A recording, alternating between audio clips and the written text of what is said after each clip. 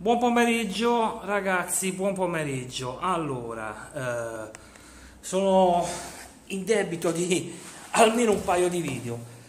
Dunque, come ogni settimana, stavolta parliamo di calcio, facciamo il punto sui campionati esteri.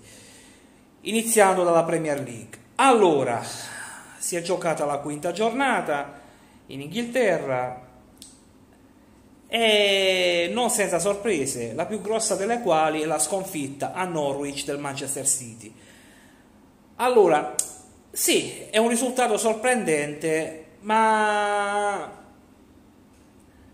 non dicono eh, che ci si poteva aspettare, ma non sorprende più di tanto, perché come ho detto qualche video fa, eh, rispetto agli anni scorsi, rispetto agli anni scorsi. Quest'anno City e Liverpool, che sono le, le due squadre nettamente più attrezzate per, delle altre per primeggiare in Inghilterra, secondo me sono, hanno invertito i loro obiettivi. Il Liverpool, come ben sapete, è campione d'Europa. Il Manchester City l'anno scorso ha stabilito una sorta di record, ha vinto tutte le competizioni nazionali, Premier League, FA Cup, e Coppa di Lega. Ecco, eh, stasera forse, stasera inizia la Champions, stasera domani cominceremo a avere le prime risposte. Allora, eh, il City ha perso 3 a 2. Il City secondo me quest'anno punterà decisamente alla Champions League perché è reduce da due vittorie consecutive ha vinto negli ultimi sette anni, mi sa che ha vinto quattro titoli, una cosa del genere. Sì, ha vinto quattro titoli, sì, negli ultimi sette anni. Ha una squadra molto forte, specialmente dal centrocampo in su. E, e secondo me punterà decisamente alla Coppa Campioni guarda caso questa sconfitta di Norwich quando, quando, arriva? Arriva prima della Champions League. Oddio il girone che ha preso cioè secondo me la squadra più, eh, più temibile per il City è l'Atalanta nel girone nel girone del City. Però nell'inconscio forse forse il City ha la testa più alla Champions League. Uh, ha, commesso, ha preso tre gol praticamente con tre contropiedi, due, due contropiedi e una colossale fesseria dalla difesa. E... Buon per il Norwich che è una di quelle squadre che si deve salvare che è partita molto bene diciamo poi solite fesserie non ci interessa allora dicevamo del City che adesso è staccato di 5 punti, dopo 5 giornate è già staccato di 5 punti dal Liverpool. Liverpool che le vince tutte, ecco, rispetto agli altri anni, secondo me quest'anno il Liverpool, il Liverpool punta decisamente a rivincere la Premier League.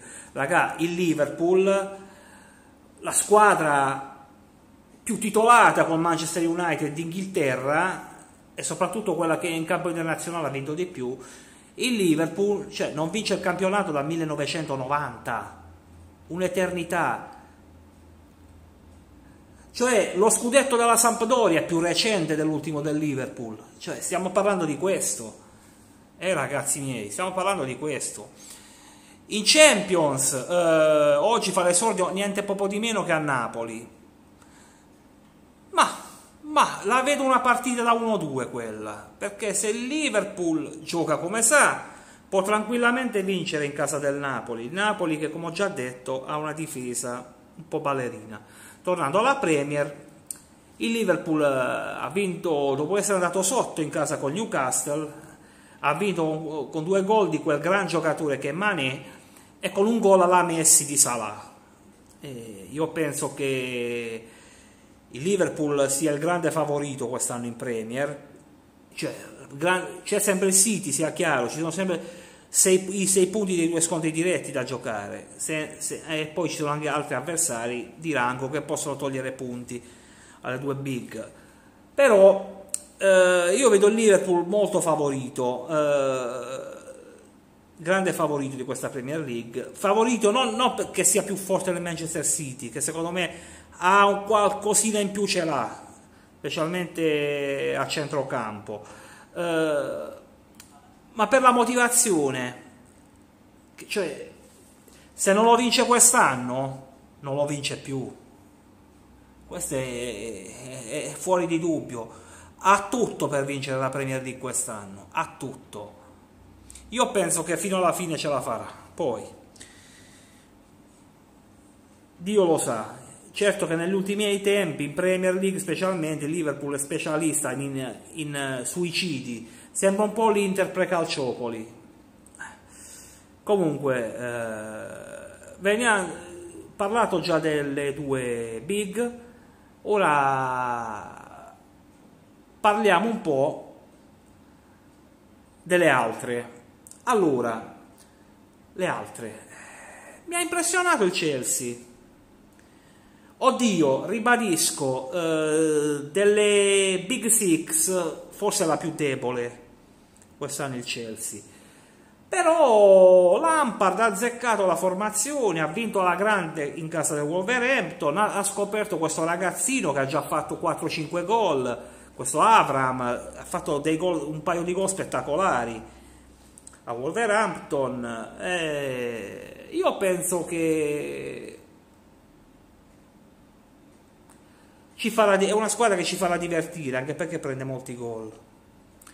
Non credo che riuscirà a entrare fra le prime quattro. Se devo fare il paragone con una, con una squadra del calcio italiano, a me ricorda molto il Chelsea di quest'anno, ricorda molto il Napoli del post Maradona sì, fece un paio di buoni campionati, ma lentamente andò in declino fino a, al fallimento.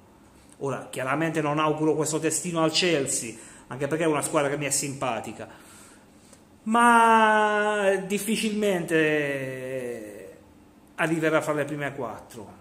Fermo restando che il solo Liverpool ha già quasi il doppio dei punti doppio, perché il Chelsea è fermo a 8 punti, come le altre grandi del calcio inglese, come il Manchester United che ha vinto molto a fatica con il Leicester 1-0 su calcio di rigore, eh, raggiungendo le sue rivali per il piazzamento in Champions. Anche il Manchester diciamo che lo vedo più, più o meno a livello del Chelsea, magari un po' meglio perché ha giovani molto interessanti, vedi Rashford, vedi quel ragazzo che fece gol l'altra volta, vedi il terzino di origine africana che è molto bravo, più o meno li vedo allo stesso piano Chelsea e Manchester, non penso che riusciranno a insidiare ad entrare nelle prime quattro. Questo è il campionato che i ragazzi di Solskjaer eh, dovranno fare perché è una squadra in ricostruzione, sia chiaro. Torna a vincere il Tottenham, è la, mia, la più grande squadra inutile del mondo, la squadra inutile più forte del mondo No, la squadra inutile più forte di tutti i tempi. Cioè, se torna a vincere, se non vinceva dalla prima giornata, una squadra che in campo ha Kane, Son, Dele Alli, Vertonghen, Ioris, portiere campione del mondo in porta, Lamela, cioè ragazzi, questi secondo me insieme all'Arsenal hanno l'attacco più forte della Premier ma sarà un sortilegio, sarà quel che sarà, questi praticamente non riescono mai a vincere nulla. Ecco, ecco, da qui la definizione che ho coniato di squadra più inutile d'Inghilterra, ma più che altro in ragione del suo enorme potenziale offensivo, dell'enorme potenziale offensivo che ha questo, questa squadra. Ha battuto netto 4-0 il Crystal Palace, è una squadra che purtroppo fa vedere a, a sprazzi le sue grandi potenzialità e secondo me obiettivo del Tottenham sarà l'FA Cup.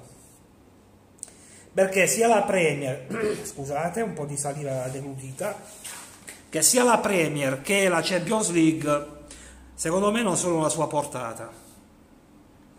Io penso che punterà ai due trofei alle due coppe inglesi punterà il Tottenham tra l'altro l'FA Cup che il Tottenham, altro motivo per cui la definisco squadra inutile, FA Cup che il Tottenham non vince dal 91, cioè ci giocava ancora Gascogne. Cioè ragazzi di che stiamo parlando? Veniamo, parliamo poi dell'altra grande, dell'Arsenal, che ha buttato una grossa occasione per mettersi a pari punti con Manchester City. Eh, sto parlando dell'Arsenal. Arsenal che, dove si è fatto male la casette, che ne avrà per un paio di mesi se non sbaglio. E... Obama Young due gol, primo tempo sontuoso, gioco tutto di prima. Nel secondo tempo una difesa sconcertante, quella dell'Arsenal un, Gwendus, un Gendusi che a me piace tantissimo, inguardabile, ha perso, fatto un sacco di errori. Uh, Tanto è vero che dal 2-0 si è andati al 2-2, non solo, il Watford all'ultimo ha rischiato anche di vincerla. Eh, questa è un'altra motivazione eh, per la quale le prime due sono, i primi due posti secondo me sono ampiamente già assegnati non c'è poco da fare. L'Arsenal come il to- con il Tottenham si giocherà al terzo posto. Anche se l'Arsenal, eh, io per l'Arsenal vedo un lungo cammino in Europa League. E secondo me ne è la squadra più forte. Una volta che riuscirà a recuperare la casetta. Poi il pallone è tondo. Ah, il, pallone è tondo e soliti luoghi comuni che in questi casi si dicono. Eh. Ah, concludo il video per fare i complimenti a Patrick Cutrone che forse è stata l'unica nota positiva della domenica del, del Wolverhampton, della, della partita del Wolverhampton, il gol di Cutrone, primo gol in Premier League, un gol dei suoi di rapina su una respinta del portiere Faccio tanti auguri a questo ragazzo, eh, certo che ha una concorrenza abbastanza serrata nel Wolverhampton, che ricordiamo anche se è partito un po' male in, in Premier, era comunque una signora squadra. Eh, magari con un paio di ritocchi a gennaio, secondo me potrebbe addirittura insediare Chelsea e Manchester United. Poi, chiaramente adesso, ora come ora, dovrà lottare per l'ultimo posto disponibile per andare in Europa League. È quello il campionato che dovrà fare Wolverhampton eh, insieme all'Eister, insieme a West Ham, insieme all'Everton, eh, insieme magari, che so, no, queste sono le quattro che si giocheranno al settimo posto, l'ultimo posto utile per l'Europa League, dato, dato per scontato quello delle prime sei. Anche se secondo me una fra Chelsea e United potrebbe essere a rischio. Comunque ditemi la vostra, ditemi se vi è piaciuto il video sulla Premier League, iscrizione al canale. Buon pomeriggio.